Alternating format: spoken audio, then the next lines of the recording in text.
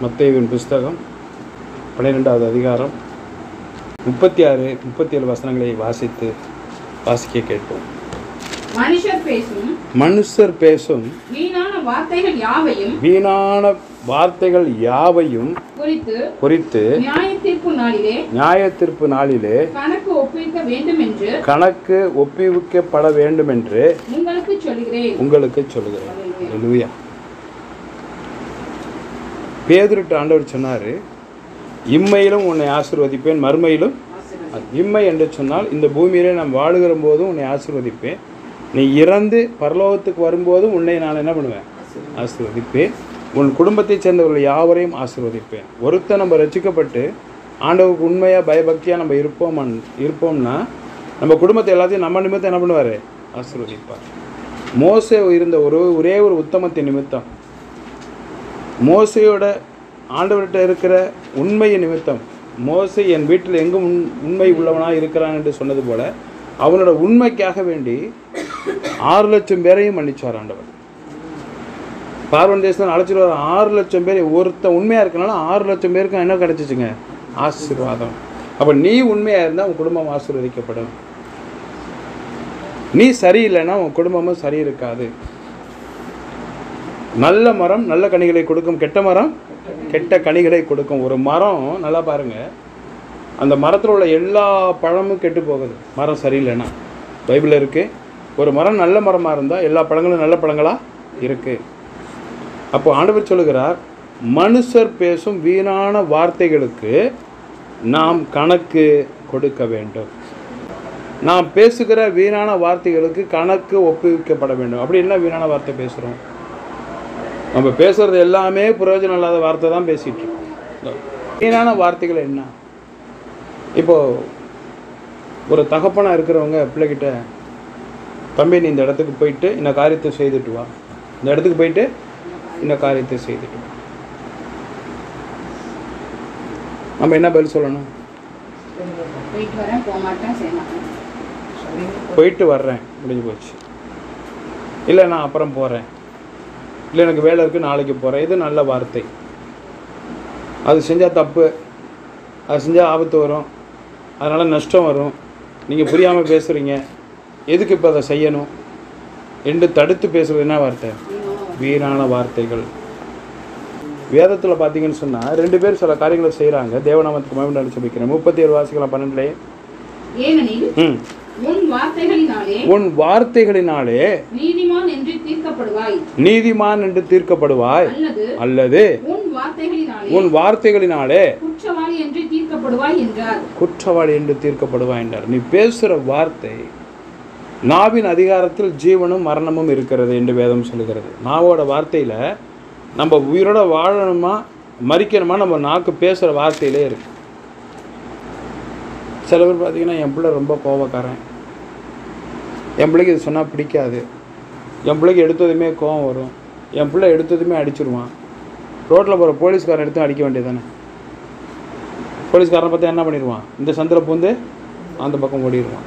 தேவநாமத்துக்கு மயமன் நான் சபிக்கிறேன் அப்போது வீணான வார்த்தைகளை நம்ம என்ன பண்ணோம் பிள்ளையை குறித்து சொல்கிற என் பிள்ளைக்கு இதெல்லாம் பிடிக்காதுங்க. கண்டிக்கிறதே கிடையாது.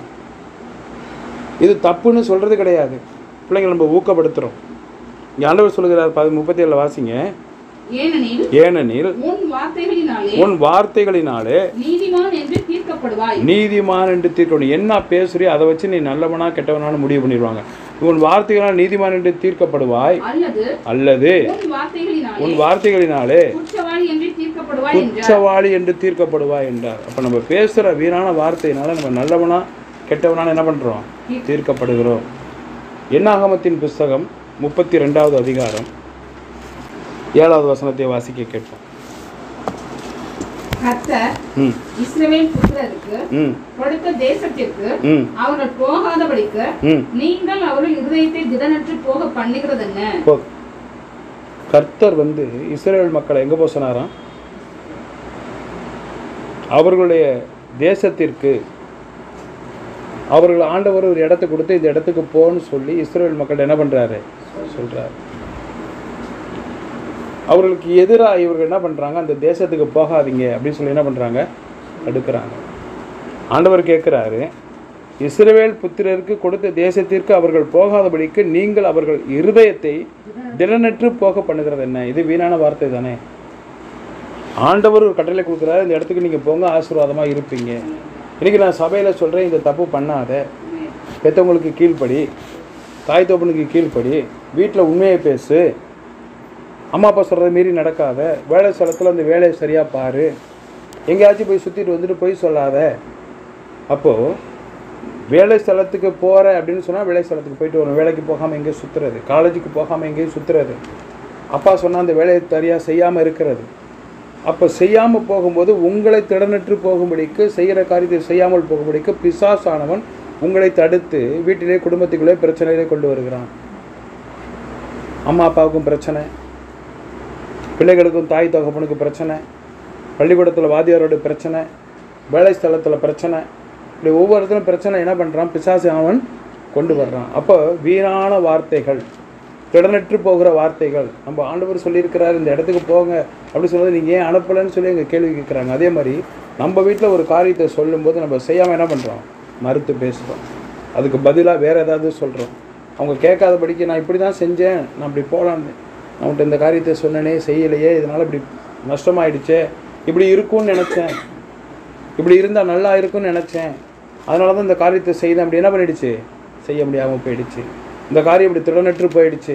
இந்த காரியம் சரியில்லாமல் போனதுக்கு நான் தான் காரணம். எப்போ சொல்கிறோம் நஷ்டம் வந்ததுக்கு பிறகு நம்ம சொல்கிறோம் நஷ்டம் வந்த பிறகு நம்ம சொல்கிறோம் ஆபத்து வந்த பிறகு நம்ம சொல்கிறோம் அந்த காரியம் ஜெயம் எடுக்காத போது நம்ம சொல்கிறோம் அப்போது இப்படிப்பட்ட கா வார்த்தை நல்லா கவனிங்க.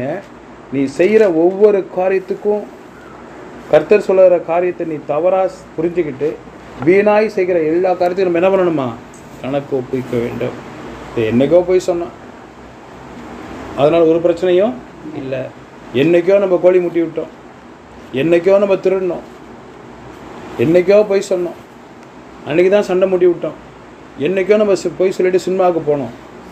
இது எல்லாமே வீணான வார்த்தைகளால் வருவது தான் அப்போ என்னைக்கே சொன்ன என்னைக்கே சொன்னாலும் நீ என்னைக்கு திருந்துவாய்? அப்போ நீ ஒவ்வொரு வார்த்தையும் கணக்கு சொல்கிற மன்னிப்பு கேட்டால் ஆண்டவர் மன்னிச்சிருவார். எத்தனை வாட்டி மன்னிப்பார்? நீதிமானாக இருந்தால் எழுபது தடவை மன்னிப்பார். உன்னை ஏழு தடவைக்கு மேலே மன்னிக்க மாட்டார். ஏழு தடவைக்கு மேலே உன்னை மன்னிக்கவே மாட்டார். இப்போ எத்தனை நம்ம போய் சொல்கிறோம் அப்போது ஏழு தடவைக்கு மேலே மன்னிக்க மாட்டாங்க நல்லா தானே இருக்கேன். என்ன அப்பப்போ அந்த இருமல் வந்துட்டு அப்பப்போ எனக்கு முதுவலி வரும் அது சரியாக போயிடும். அவர் அறுபது வயசுக்கு நல்லா இருக்காருங்க. எனக்கு நாற்பது வயசுக்குலாம் காலை வலிக்குது. எனக்கு முப்பது வயசுக்கெல்லாம் புரடி வலிக்குது. எனக்கு முப்பத்தஞ்சு வயசுக்கெல்லாம் தலைவலி தாங்க முடியல. எனக்கு ஆகாரம் எடுத்துக்கொள்ள முடியல. எனக்கு பசிக்கிற இதெல்லாம் எதனால் வர்றதுங்க? ஆண்டவர் சொல்லி ஏழு தடவை மன்னிக்க முடியாத குற்றத்தை நீ செய்த பிறகு ஏழு தடவை தாண்டிய பிறகு ஆண்டவர் உனக்கு சிற்றைகளை அனுமதிக்கிறார். அடே லூயா வர்ற நம்ம வீணான வார்த்தைகளால் வருகிற காரியம் ஏழு தடவைக்கு மேலே ஆண்டவர் மன்னிக்கலைன்னா உனக்கு நோயாகி மாறி போகும் நம்ம எனக்கு வியாதியே வரன்றவங்க கை தூக்க பார்ப்போம். அப்போ யாருமே தூக்க முடியல. எல்லாருக்கும் வியாதி என்ன பண்ணுது? வருது. ஆனால் வந்து மறுபடியும் மறுபடியும் அதே வியாதி வரவங்க சொல்லி பார்ப்போம். நல்லா நல்லா கை தூக்கணும் தேவனுக்கு மகிமை உண்டாகணும்னு சொல்லிக்கிறேன். இப்போ தலைவலிச்சுக்கிட்டே இருக்குது அது திரும்ப திரும்ப வருதுன்னா நம்ம செய்கிற காரியத்தில் நம்ம என்ன பண்ணல? திரும்ப திரும்ப அதே வியாதி வருதுன்னா நம்ம அதுலேருந்து இன்னும் மாறலைன்னு அர்த்தம். ஏதோ ஒரு காரியம் நம்மளை பின்தொடர்ந்து என்ன பண்ணிட்டு இருக்கு? வந்துக்கிட்டே இருக்கு. பைபிளில் சொல்லுது உன் பாவம் உன்னை பின்தொடரும். என்ன பண்ணிடு சில பாவம் மன்னிக்கப்படும் சில பாவம் அன்னைக்கே தண்டனை கிடச்சிடும் சில பாவம் பின்னாடி தொடர்ந்துக்கிட்டே வரும். என்னாச்சுங்க?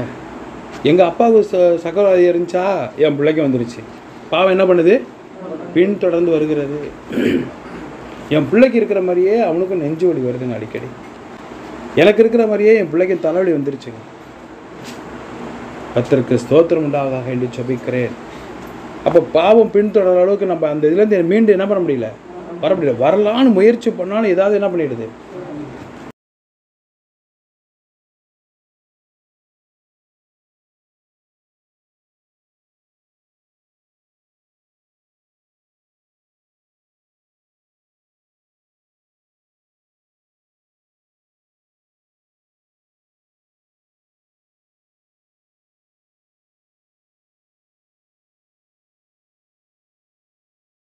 இடதுபுறம் வலதுபுறம் எங்கேருந்து கற்றுக்கிட்டோன்னு தெரியாது.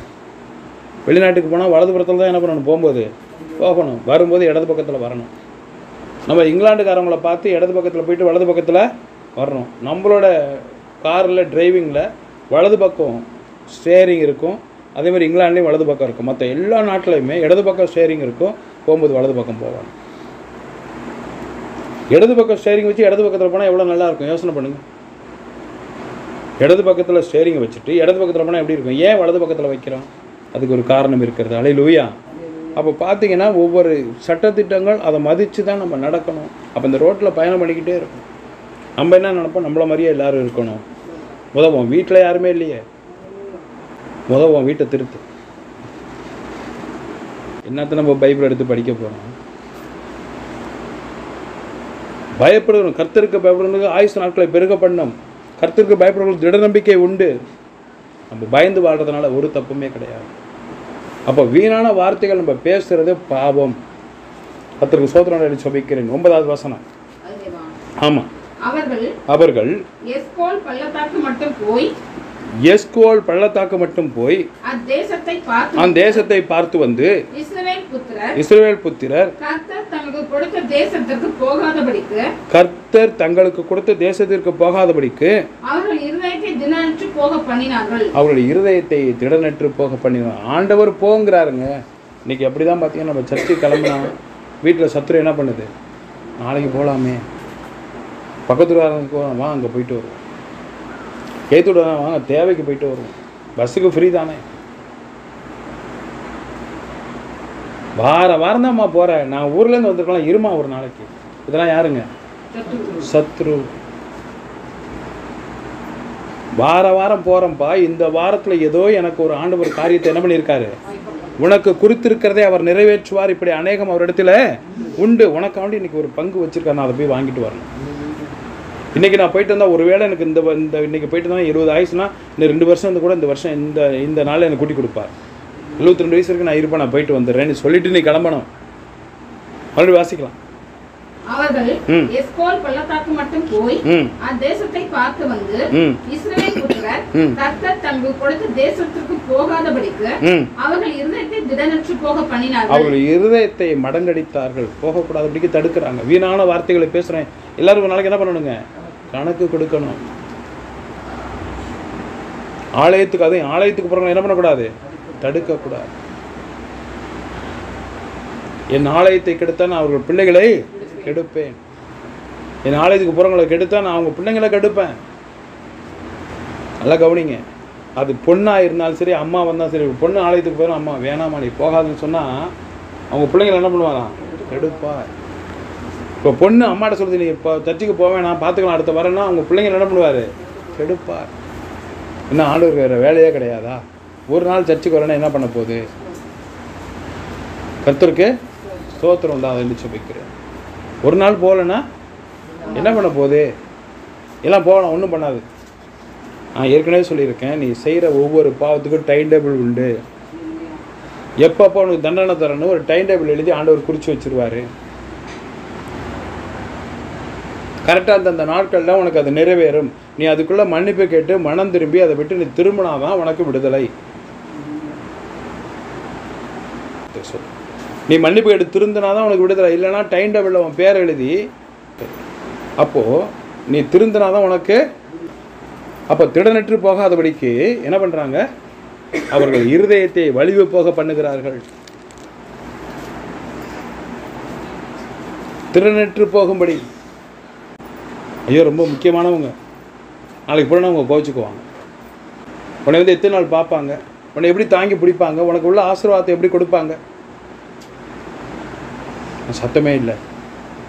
நம்ம மத்தியில் யாராச்சும் அப்படி அடுத்தவங்களோட ஆலோசனை கேட்டு வீணான வார்த்தைகளுக்கு செவி கொடுத்து வலிவி போகிறவர்கள் விலகி போகிற யாராச்சும் இருக்கீங்களா அப்படி? யோசனை பண்ணி பாருங்க. அவங்க சொன்னாங்க அவங்க தான் கூப்பிட்டாங்க போயிட்டு வந்துடலாம் அடுத்த வாரம் பார்த்துக்கலாம். அவர்களுக்கு டைம் டேபிளில் உனக்கு டைம் டேபிள் உண்டு. வெள்ளிக்கிழமை என்ன புக் எடுத்துகிட்டு வரணும்? சனிக்கிழமை என்ன புக் எடுத்துகிட்டு வரணும்? ஞாயிற்றுக்கிழமை என்ன புக் எடுத்துகிட்டு வரணும்? என் சனிக்கிழமைக்கு என்ன டைம் டேபிள் ஆர்டர் படி என்ன டைம் டேபிள்னு அவங்க என்ன பண்ணிடுற ஆண்டவர்? நீ ஒரு நாள் பேசுகிற வீணான வார்த்தைக்கு கணக்கு கணக்கு கொடுக்கணும்னு எழுதியிருக்கு பைபிள். அப்போ நீ ஒரு நாள் ஆலயத்துக்கு வராமல் பொய்யான காரணத்தை நீ சொன்னியன்னா எங்கே போனேன்? நல்லா இருந்துக்கிட்டே எனக்கு உடம்பு சரியில்லை. யாரெல்லாம் நம்ம வழி வழிவு போகும்படி செய்கிறாங்க யார் மறுத்து பேசுகிறாங்க யார் அதுக்கு தடை அணிக்கிறாங்க? தேவன் அதை பார்ப்பார். அவங்களுக்கு நிச்சயமாக டைம் டேபிள் உண்டு. அறியாதவர்களுக்கு ஒன்றுமே இல்லை. தேவனை அறிந்த பிறகு ஆலயத்துக்கு போய் தான் ஆகணும். அங்கே போனால் தான் அம்மா போனால் தான் நல்லது. மகள் போனால் தான் நல்லது. தகப்பன் போனால் தான் நல்லது. ஆலயத்தில் ஒவ்வொரு வாரத்துக்கும் ஆண்டவர் ஒரு பொக்கியசத்தை வைத்திருக்கிறார். நமக்கு நல்ல ஆலோசனை கொடுத்து வருகிறார். இந்த வாரம் போனால் அடுத்த வாரம் வரைக்கும் நல்ல பலன் இருக்குது நல்ல ஆசீர்வாதம் இருக்குது நல்லா நம்மளுக்கு தெம்பாக இருக்கிறோம். இருந்த நோயெல்லாம் நம்மளுக்கு குணமாயிடுச்சு. ஆண்டவர் டாக்டரால் தீர்க்க முடியாத எந்த நோயாக இருந்து என் ஆண்டவர் எடுத்து போடுவார். நீ டாக்டர்கிட்ட போகவே வேணாம். எல்லா டாக்டருக்கும் பெரிய டாக்டர் என்னோட ஆண்டவர் இயேசு கிறிஸ்து. கரகத்திற்கு கத்திர மயமப்படுத்தலாமா நான் ஒரே ஒரு ரகசியம் சொல்லித்தரேன். நூறு வயசுக்கு வாழணுமா? ஆலயத்துக்கு போ. ஆண்டவர் சொல்கிறபடி நட. உனக்கு வியாதியும் கிடையாது விலகினமும் கிடையாது ஆரோக்கிய குறைச்சலும் கிடையாது எப்பொழுதும் சந்தோஷம். தேவன்களை ஆசீர்வதிப்பாராக. பத்தாவது வசனம். அதனால் போதும். அப்போ ஜனங்களை நல்லா கவனிக்கணும். ஜனங்களை யார் போகக்கூடாதுன்னு தடுக்கிறாங்களோ யார் துர் ஆலோசனை கொடுக்குறாங்களோ ஆலயத்துக்கு போன விற்கிறாங்களோ அப்போ ஆண்டவருக்கு என்ன வந்துருச்சான் கோபம். கோபம் உண்டவராகி கத்தருக்கு சோத்திரம் பதினஞ்சாவது வசனத்தை வாசிக்கலாம். நீங்கள் அவரை விட்டு பின்வாங்கினால் நீங்கள் அவரை விட்டு பின்வாங்கினால் அவர் இன்னும் அவர்களை இன்னும் அவர்களை வனாந்தரத்தில் இருக்க பண்ணுவார். வனாந்தரத்திலே இருக்க பண்ணுவார். இப்படி நீங்கள் இப்படி நீங்கள் இந்த ஜனங்களை எல்லாம் அழிய பண்ணுவீர்கள். அழிலூயா. இப்போ நம்ம என்ன பண்ணுறோம் அவருக்கு பயங்கர கோபம் வந்துருச்சு ஆண்டவருக்கு. ஆலயத்துக்கு போகாத அடுத்த வாரம் வர்றேன். கேட்டால் நான் அங்கே போகணும். நான் இங்கே போகணும். நான் அவங்கள பார்க்கணும். அவங்க வர சொன்னாங்க. ஒரு முக்கியமான கல்யாணம். என்ன கல்யாணமா பாக்கி எல்லாத்துக்கும் முக்கியமான கல்யாணமே இல்லை. அவங்களுக்கு மட்டும்தான் முக்கியமான கல்யாணம். ஏன்னா அங்கெல்லாம் தாலி கட்டுவாங்க இங்கே தாலி கட்ட மாட்டாங்க. மாப்பிள்ளை பொண்ணை தூக்கிட்டு ஓடி போயிடுவார். முக்கியமான கல்யாணம்னா அப்படிதான் எல்லா இடத்துலையும் மாப்பிள்ளை என்ன பண்ணுவார்? பொண்ணுக்கு தாலி கட்டுவார். கத்தருக்கு ஸ்தோத்திரம் உண்டாயிடுச்சு சபிக்கிறேன் அப்போ எல்லாத்துக்குமே முக்கியம்தான். எல்லாத்துக்கும் மேலே சாமி தான் முக்கியம். இறைவன் ஆண்டவன் தான் முக்கியம். நீ ஆண்டவனை நோக்கி பார்த்தா உனக்கு ஒரு குறைவும் இல்லை. ஆண்டவருக்கு கோபம் வந்து சொல்றாரு வாசிக்கலாம் பதினஞ்சு. நீங்கள் தேவனுடைய வார்த்தை ஆண்டவராக இயேசு கிறிஸ்து வார்த்தையை கேட்டு அதன்படி ஆலயத்துக்கு தொடர்ந்து போகாதபடிக்கு அவரை விட்டு பின்வாங்கி போவீர்களானால் இன்னும் அவர்களை இன்னும் அவர்களை போதும். வனாந்தரம்னா என்னங்க? காடு. நீ இருக்கிற வீடு காடா போயிடும். நீ இருக்கிற வீட்டில் எல்லாமே இருக்கும். எல்லா ஆசீர்வாதம் இருக்கானா உனக்கு பார்த்தீங்கன்னா பயங்கர காடாக இருக்கும். என்னங்க காடு? பெரிய நோய் வந்துடும் எல்லாரும் சந்தோஷமாக இருக்காங்க. நம்மளுக்கு முடியலையே. நீ இருக்கிற வீட்டில் நல்லா சாப்பாடு இருக்கு. உனக்கு சாப்பிட முடியாது. உன் சொந்த பந்தத்தில் ஒரு உயிர் போயிடும். உன்னை விட்டு ஒருத்தங்க முக்கியமானவங்க பிரிஞ்சு போயிடுவாங்க. அனாதையாக இருப்ப. உன் கணவன் கூட இருக்கவன் உன்னை விட்டுட்டு விலகி போயிடுவான். எல்லா வீட்லேயும் கணவன் இருக்கிறாரு. நம்மளுக்கு இல்லையே. அவர் எங்கே உங்கள் வீட்டுக்காரில் இருக்காரு. ஆனால் இல்லை. வருவான் ஆனால் என்ன பண்ண மாட்டான்? வரமாட்டான். எங்கள் வீட்டுக்காரர் என்ன பண்ணுறாரு இருக்கார் ஆனால் இல்லை. எங்கெங்க? புரியல எனக்கு. ஏன் கூட இல்லை. நினச்சி பார்த்துருக்கீங்களா? ஒரு நாள் நினச்சோம். எல்லாருக்கும் கணவன் இருக்காங்களே நம்ம கூட ஏன் இல்லை? அந்த பாட்டி நேற்று வந்தாங்க. அந்த பாட்டிக்கு தொண்ணூறு வயசாம். அவங்க வீட்டுக்காருக்கு தொண்ணூத்தஞ்சு வயசாம். ரெண்டு பேரும் வந்தாங்க. எனக்கு ஐம்பது வயசு தான் ஆகுது எங்கள் வீட்டுக்காரர் இறந்து போயிட்டார். எனக்கு நாற்பத்தஞ்சு வயசு அது என் ஒய்ஃப் இறந்து போயிட்டாங்க. எதனாலங்க? ஆண்டவரை விட்டு நீ விலகி போவாயானால் தெய்வத்தை விட்டு நீ விலகி போய் பொய் சொல்லிட்டு நீ விலகி போனீன்னா என்ன கிடைக்கும் வனாந்தரத்திலே கொண்டு போய் நிறுத்துவார். வீணான வார்த்தைகளுக்கு செவி கொடுக்கும்போது ஆலயத்துக்கு போக வேண்டாம். ஆண்டவர் சொல்ல காரியத்தை தடுப்பவர்களுக்கு வனாந்திரத்தில் இருக்க பண்ணுவார். உன் வீடு காடாய் மாறி போகும். நீ சாப்பிடுகிற சாப்பாடு பார்த்தீங்கன்னா உனக்கு ஒட்டாது.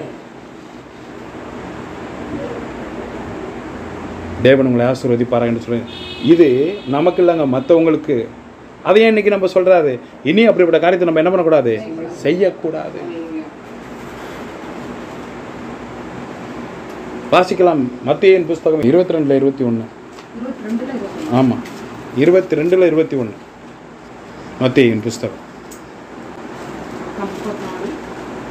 மத்தியின் புஸ்தகம். ராயனுடையது என்றார்கள். ஒரு பொருளை எடுத்துகிட்டு வந்து இது ராயனுக்கு கொடுக்கணும்னு சொன்னாங்க. யார்கிட்ட சொல்கிறாங்க ஆண்டவர் இயேசு கிறிஸ்துக்கிட்ட வரி பணம் செலுத்தணுங்க. ஒரு ஊரில் இருக்கிறதுக்கு அந்த காலத்தில் ஆண்டவர் இயேசு கிறிஸ்து இருக்கும்போது வரி பணம் என்ன பண்ணணும்? செலுத்தணும். அப்போ இது யாருக்குப்பா இந்த பணம் வச்சுருக்கிறீங்க? அப்படின்னு சொல்லி சீசரை பார்த்து ஆண்டவர் கேட்குறாரு இங்கே கவனிக்கலாம். இது ராயனுக்கு கொடுக்கணும்னு சொல்கிறாங்க அதை ஏன்ப்பா நீ என்கிட்ட கொண்டாந்த? அந்த பணத்தை கொண்டாந்து என்கிட்ட எதுக்கு என்ன பண்ணுற நீட்டுற? அப்போது யூதாஸ் காரியோத் ஆண்டவரோட பன்னிரெண்டு பேர் இருந்த அந்த சீசர்கள் அவன் பொருளாளராக இருந்தான். ஆண்டவருக்கு வர காணிக்கலாம் அவன் தான் கணக்கு பார்த்து கொண்டு இருந்தான். அப்போ இந்த பணம் ஏது? ஏன் அதில் கொண்டு சேர்த்து வைக்கிறேன்னு கேட்கும்போது இது ராயனுக்கு கொடுப்பது வரி பணம் செலுத்துவதற்கு ராயன் என்ற வரி வாங்குகிறவனுக்கு செலுத்த வேண்டிய பணம் வாசிக்கலாம் மேலே. அதற்கு ஆண்டவர் இயேசு கிறிஸ்து அப்படியானால் ராயனுடைய பொருளை வரி பணத்தை ராயனுக்கும் போதும். அப்போ ஆண்டவருக்கு கொடுக்குற கணத்தை நீ என்ன பண்ணணும்? கொடுக்கணும். சாமிக்கு கொடுக்குற கணத்தை நீ கொடுக்கணும் மரியாதையை கொடுக்கணும் ஆலயத்துக்கு போகணும். அதிகாலையில் எந்திரிச்சு குளிச்சுட்டு குளிக்க முடியாட்டினா பல் தேய்ச்சிட்டு உடம்ப சுத்தம் பண்ணிட்டு வந்து ஆளே ஆண்டவர் சமூகத்தில் அஞ்சு மணிக்கு எழுந்து நீ ஜெபிக்கணும். ஒரு பத்து நிமிஷம் ஆச்சு. காலம்பரை எட்டரை வரைக்கும் பப்பரக்கான தூங்கக்கூடாது. ராயனுக்குள்ள ராயனுக்கும் தேவனுக்குள்ள தேவனுக்கும் செலுத்த வேண்டும். அப்போ வீணான வார்த்தையை கொண்டு போய் நான் ஆண்டவரோட காரியத்தில் ஆண்டவர் போக வேணாம் ஆண்டவர் போக சொல்கிற காரியத்தை வேணான்னு சொல்கிற ஆபரகம சொன்னார் நீ கிளம்பி இந்த இடத்த விட்டுட்டு வேறு இடத்துக்கு என்ன பண்ணிவிடு நீ போயிடு. ஆபரகம் உடனே புறப்பட்டு போனார். அவர் குடும்பம் ஆசீர்வதிக்கப்பட்டது. நீதிமான் ஆக்கப்பட்டார். ஆண்டவருக்கு செவி கொடுத்தா அவன் குடும்பம் ஆசீர்வதிக்கப்படும். இல்லைனா வனாந்தரமாக போயிடும். இருட்டாக போயிடும். ஆண்டவர் கொடுக்க நீ ஆண்டவருக்கு கொடுக்கணும். நீ நடக்கணும். எப்படி நடக்கணும்? ஆண்டவனுக்கு உத்தமமாய் நடக்கணும். பிரியமாய் நடக்கணும். நல் வார்த்தைகளை கேட்கணும்.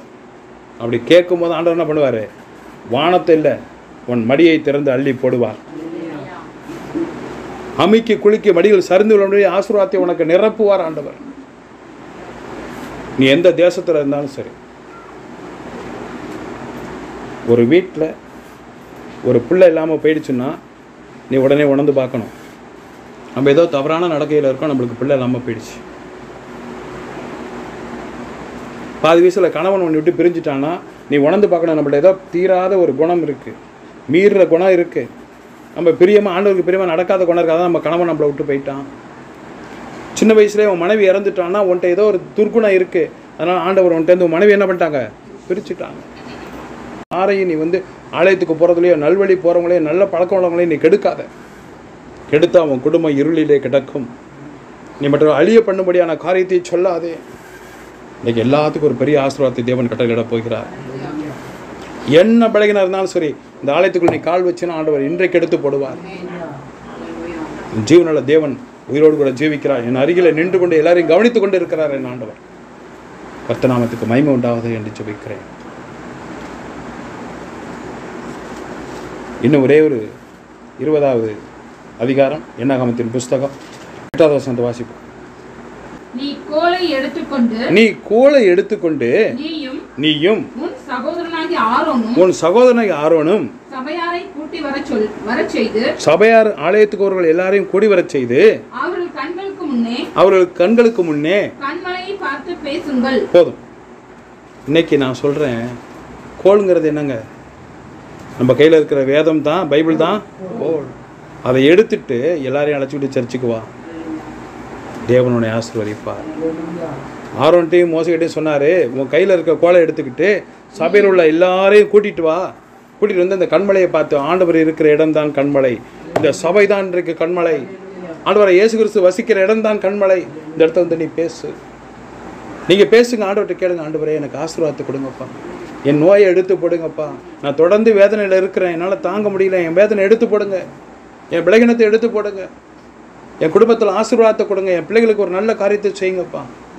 நாம் வாழ்வதற்கு ஜீவ தண்ணீராகிய ஆண்டவருடைய வார்த்தை வேணும். அந்த வார்த்தை எங்கேருந்து வரும் நம்மளுக்கு? இன்னைக்கு நீங்கள் ஆண்டவர்கிட்ட கேட்டீங்க இல்லையா? அதான் உங்களுக்கு ஜீவ தண்ணீர். நீங்கள் கையில் வச்சிருக்கீங்க இல்லையா? இந்த வேத புஸ்தகம் தான் உங்கள் கையில் இருக்கிற கோல்.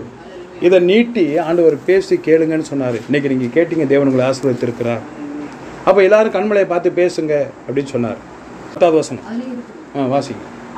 அப்பொழுது அது தன்னிடத்தில் உள்ள அது தன்னிடத்தில் உள்ள தண்ணீரை கொடுக்கும். தண்ணீரை கொடுக்கும். இப்படி நீ இப்படி நீ அவர்களுக்கு கண்களிலிருந்து தண்ணீர் புறப்பட பண்ணி இப்படி கண்மலையிலிருந்து ஜீவ தண்ணீராகிய குடிப்பதற்கு தண்ணீரை புறப்பட பண்ணி சபையாருக்கும் சபையாருக்கும் அவருடைய மிருகங்களுக்கும் அல்லேலூயா.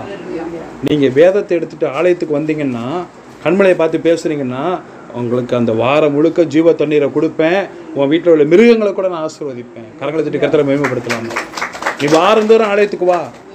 உன்னையே நான் ஆசீர்வதிக்கிறேன். உன் நோயை எடுத்து போடுறேன். நீ வளர்க்குற மிருகத்தை கூட நான் ஆசீர்வதிக்கிறேன். பாருங்க மிருகத்தை கூட அவர் காப்பாத்துறேங்கிறாருங்க ஒரு மிருகத்தையே காப்பாத்துறேன்னு நினைக்கிறார் உன்னையே காப்பாற்ற மாட்டாரா?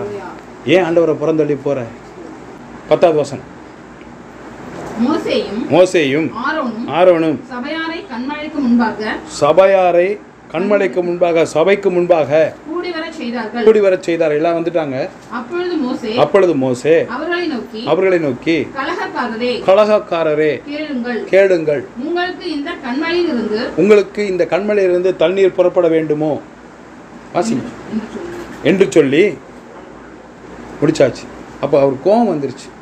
இந்த ஜனங்களுக்காக வேண்டி நம்ம என்ன பண்ணுறோம் ஆண்டவர்கிட்ட போய் மன்றாடுறோம். இதுக்கு சொல்கிறத கேட்கவே மாட்டேங்குது. எப்போ பார்த்தாலும். சர்ச்சுக்கு வேணால் வரமாட்டேங்குது. கேட்டால் அதாவது பொய்யா ஒரு காரணம் சொல்லுது. நோய் வந்ததுக்கப்புறம் நம்மள்ட்ட ஃபோன் பண்ணி எனக்கு அது முடியல இது முடியல எனக்கு பலகீனமாக இருக்குது எனக்கு ஜெபம் பண்ணுங்கன்னு சொல்லுது. கோவம் வந்துருச்சு. அப்போ சொல்கிறாரு புறப்பட பண்ணணுமான்னு சொல்லிட்டு கத்திற்கு சோத்துறோம் என்ன பண்ணுறாரு கோபத்தில் அதை பார்த்து பேசாமல் வாசிக்கலாம் பதினோராவது வசனம். தன் கையை ஓங்கி கண்மலையை தன் கோலினால் இரண்டு தரம் அடித்தான்.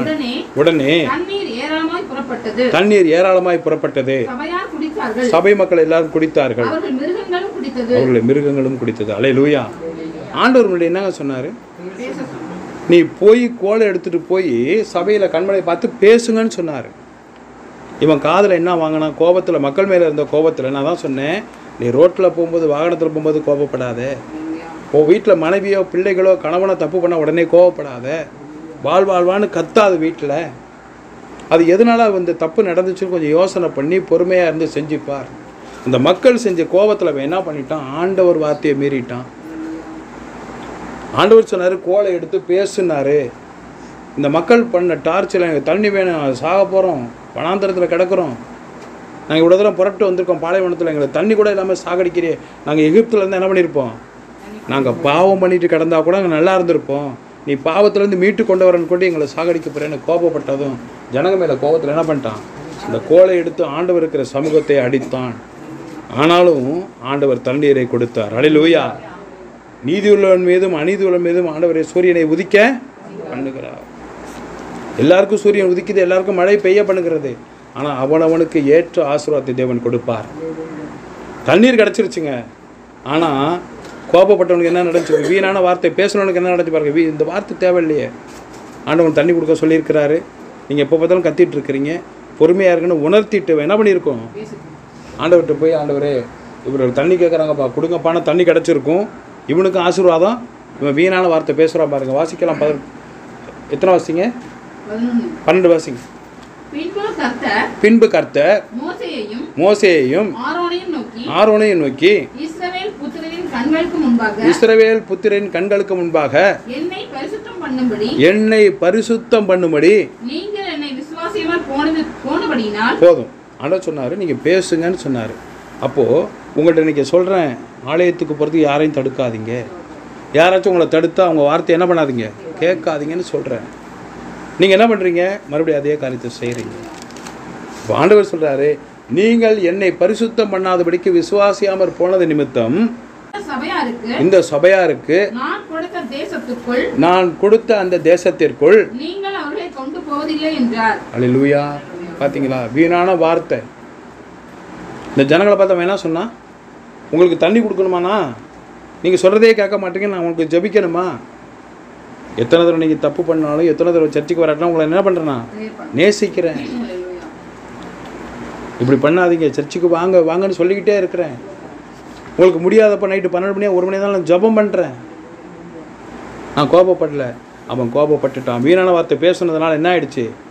இந்த சபையை உன்னிடத்து நான் எடுத்து போடுகிறேன். சரியா போச்சா? அவங்க சொன்னார் உங்களை சுதந்திரமான இடத்துக்கு என்ன பண்ணுவாங்க எல்லாரையும்? நான் அழைச்சிட்டு போகிறதுக்கு உன்னை கையில் கொடுப்பேன்னு சொன்னார். இங்கே சொல்கிறாரு இந்த சபையாருக்கு இந்த கொடுத்த தேசத்துக்குள் நான் கொடுத்த அந்த கானான் தேசத்திற்குள் நீங்கள் அவர்களை கொண்டு போவதில்லை. நீங்கள் அவர்களை கொண்டு போவதில்லை. பார்த்துக்கிட்டீங்களா? அப்போ வீணான வார்த்தைக்கு என்ன பண்ணக்கூடாதுங்க? பேசக்கூடாது. செவி கொடுக்கக்கூடாது. இவன் கண்மலையை பார்த்து பேசுங்கன்னு சொல்லிட்டு இவன் என்ன பண்ணிட்டான்? அடித்தது இவன் தப்பு. ஜனங்க போராடுவாங்க தான். உன் குடும்பத்தில் மனைவி பேச்சை கேட்காது தான்.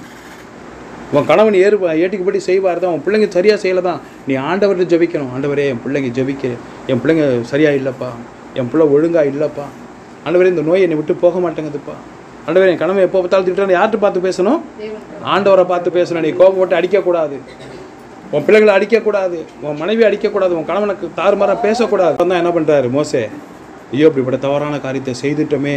இவர்கள் நிமித்தம் ஆண்டவர்கிட்ட போய் நம்ம முரண்கிறதமா பேசிட்டோமே. வீணான வார்த்தை பேசிட்டோமே. அதனால் என்ன ஆயிடுச்சுங்க? அவன் கானான் தேசத்துக்கு போகவே முடியவில்லை. அடே லூயா நீ அப்படி வீணான வார்த்தையை பேசுனீன்னா உனக்கு வர்ற பின்னாடி வர பெரிய ஆசீர்வாதம்னு சொல்லக்கூடிய பரலோகத்துக்கு போக முடியாது. உன்னோட நோய் உன் பாவம் உன்னை பின்னாடி தொடர்ந்துக்கிட்டே இருக்கும். உன் நோய் உன்னை விட்டு போகவே போகாது. என் ஆத்துமாவே கத்தரை ஸ்தோத்தரி. என் முழுவலுமே பரிசுத்த நாமத்தை சோத்தரே என் ஆத்துமாவே கத்தரை சோத்தரே அவர் செய்த சகல பரங்களை மறவாதே. கத்தரை இயேசுவி நாமத்தில் ஜெயம் கொடுக்கிற தேவனுக்கு ஸ்தோத்திரம் ஸ்தோத்திரம் ஸ்தோத்திரம். ஹலே லூயா ஹலே லூயா ஹலே லூயா கர்த்தர் தாமே உங்களுடைய ஆசீர்வதிப்பாரா?